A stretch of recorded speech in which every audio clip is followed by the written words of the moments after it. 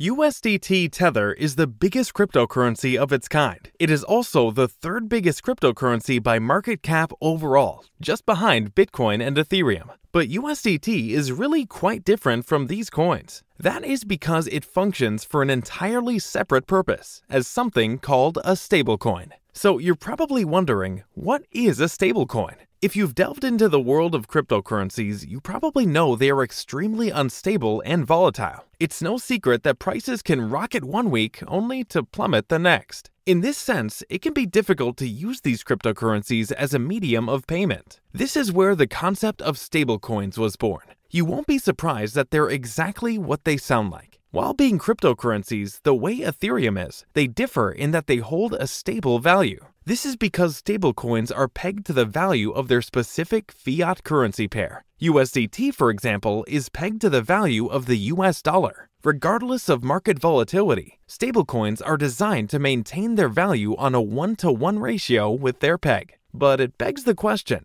how do stablecoins like USDT remain so stable? Well, it turns out that there is more than just one way that they do it. Let's explore the different types of stablecoins. There are two main types of stablecoins, classified by how they work. The first are coins like USDT, which are known as collateralized stablecoins. I will cover these coins in more detail shortly. The second type of stablecoins are known as algorithmic. Algorithmic stablecoins are software based, using programming to balance supply and demand in order to stabilize their value. DAI is a good example of a functional algorithmic stablecoin. A more infamous example of algorithmic stablecoins, however, would be Terra USD or UST, which crashed in May 2022. Terra's USD crash is a significant event in recent crypto history and is closely tied to the history of stablecoins. And since we're mentioning history, how did USDT get started? Around the start of 2012 came an idea to use the Bitcoin blockchain as a base layer for new cryptocurrencies. This idea further culminated in a project called Mastercoin, launching in July 2013. Mastercoin is now known by a different name, the Omni Layer. By 2014, employees from Mastercoin launched their own separate platform called Realcoin, which was soon renamed to Tether, the platform I'm discussing today. It was the first blockchain based platform to link real fiat currencies into the digital realm.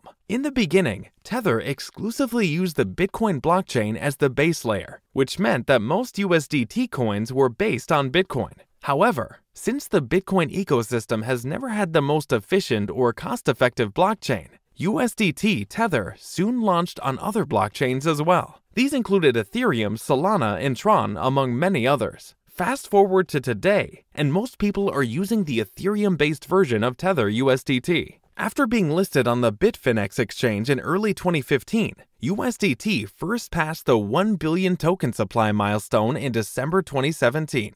Three years later, USDT hit $20 billion in market capitalization. By May 2023, USDT had crossed an incredible $80 billion in market cap. This feat represents around 80 times growth in just five and a half years from the end of 2017 to mid 2023. Clearly, USDT grew very fast, which must mean it offers unique value to its users and investors, right? But how does it all work? Moving on, what does USDT do behind the scenes? As mentioned before, USDT operates as a collateralized stablecoin. It means that the coin is supported by real world assets such as cash to maintain its peg to the US dollar. Here is a simplified explanation. When state banks print money, they take an asset like gold, put it in their reserve, and hit the presses. Without the gold backing the paper, the money has nothing to support its perceived value. Tether aims to use a similar process. Instead of gold, Tether takes US currency, keeping it in its treasury, before creating USDT tokens equal to their value. It's the funds in reserve which act as collateral on a 1 to 1 ratio. In this way, Tether should have reserves worth at least as much as the total value of USDT tokens in circulation. However, things are not as straightforward as simply topping up their reserve bank account. The reason for the complexity is because Tether's current reserves are not just made up of cash. They can also contain cash equivalents, meaning the reserves can include loans or other financial assets on their books. And by the way, if you're enjoying the video so far, don't forget to smash the thumbs up button and subscribe to the channel. Surprisingly, it is worth noting that USDT's reserves are not audited, so it isn't possible to work out the exact breakdown of Tether's USDT reserves. This is one of USDT's potential weaknesses that I will discuss in a bit more detail later. But it's not all doom and gloom. Let's talk about some of USDT's strengths. The first and biggest strength of USDT is its sheer size and momentum. USDT has a massive first mover advantage and is the de facto stablecoin in use for the vast majority of the crypto space. Around the time of this video, USDT's market cap was more than three times as big as USDC's, the second biggest stablecoin after USDT. It is also almost 16 times as big as the third biggest stablecoin, DAI. This puts USDT squarely in a dominant position as a stablecoin. It is also why USDT is the easiest coin to use when you want to buy regular cryptocurrencies. The second biggest strength of USDT is that it is supposed to be backed up by real assets and generally remains quite stable. This is important for USDT, especially considering the market's ongoing skepticism of algorithmic stablecoins following the Terra USD or UST crash in 2022. This is not to say that all algorithmic coins are bound to crash, but the sentiment remains. So Tether USDT has generally remained stable regarding its peg to the US dollar. Even on the rare occasion that it was not perfectly aligned, its price difference remained within 3% of its target $1 value.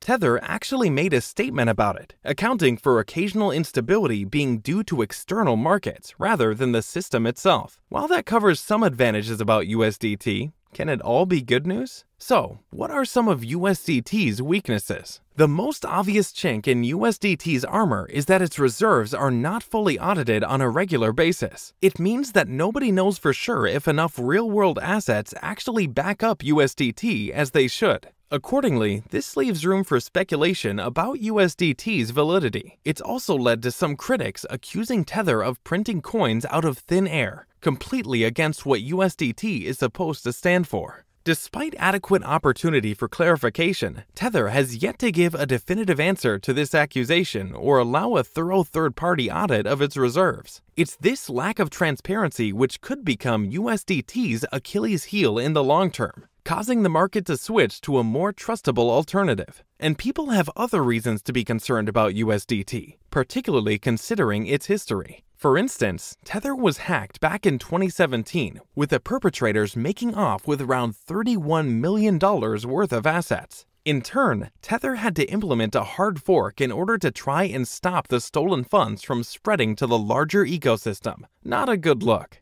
Finally, Tether has also been embroiled in controversy because of its connection with the Bitfinex exchange. Tether and Bitfinex are both Ifinex's subsidiaries, making them related entities with a higher suspected probability of collusion.